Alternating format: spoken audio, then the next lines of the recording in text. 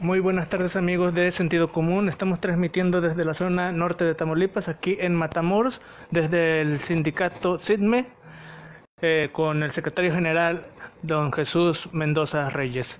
Nos va a platicar cómo les ha ido en la cuestión de la captación de empleos a pesar de los conflictos que hubo al inicio de este año.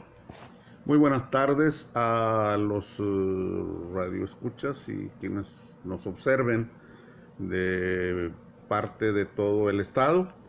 Habla Jesús Mendoza Reyes, secretario general del CITME, Sindicato Industrial de Trabajadores en Plantas Maquiladoras y Ensambladoras de Matamoros y su municipio.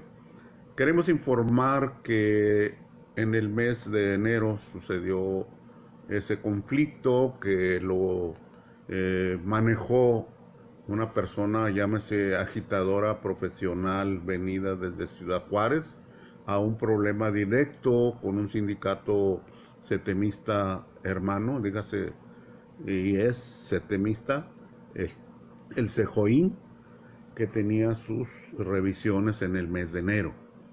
Por un problemita si sucedió allá, eh, esta persona llegó y alarmó a todos los trabajadores, no tan solo de Cejoín, sino de todo eh, el municipio de Matamoros, con un movimiento fuera de la ley, porque no estaba en todos los contratos colectivos de Matamoros, un aumento de un 20% y una eh, compensación o bono de 32 mil pesos que pidieron y que la gente escuchando esa agitadora le hizo caso de tal manera de que de manera ilegal se salieron de sus trabajos sin tener un sustento eh, realmente de contrato colectivo. Se dicen que hasta boletinados salieron. Exactamente. Mm.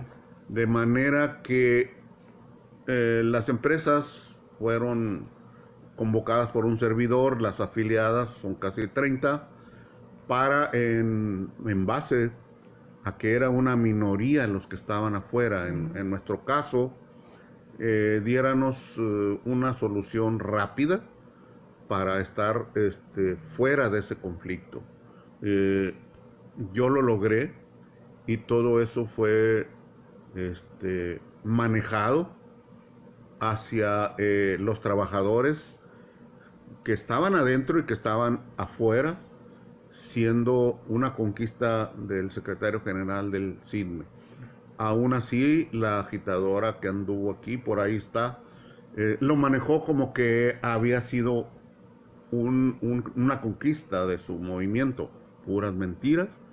Todo el CIDME fue llamado a una mesa de negociación en esta oficina y todos firmaron de acuerdo a las negociaciones que se hizo con el secretario general del CIDME. Todo fue registrado ante la Junta de Conciliación y todos regresaron a su trabajo las empresas quedaron completamente eh, manejadas dentro de un orden laboral que el CIDME siempre ha comentado entre la nueva cultura laboral y que es el respeto hacia el contenido de la Ley Federal de Trabajo respecto a las empresas y con la lucha real hacia el beneficio de los trabajadores, pero buscando siempre un equilibrio entre ambas fuerzas laborales para que las empresas tengan la confianza de mantener su eh, inversión aquí en Matamoros. Lo logramos, no se fue ninguna empresa de nuestro entorno, todas están firmemente establecidas y trabajando de manera normal.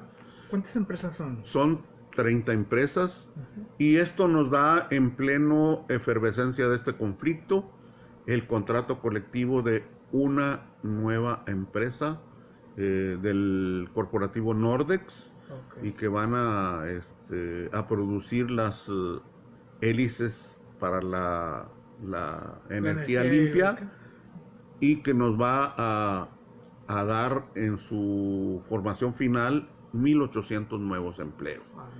Esto le dio a entender a propios y extraños que la agitación que vino a hacer esta persona era completamente irreal y fuera de la ley. Y que los trabajadores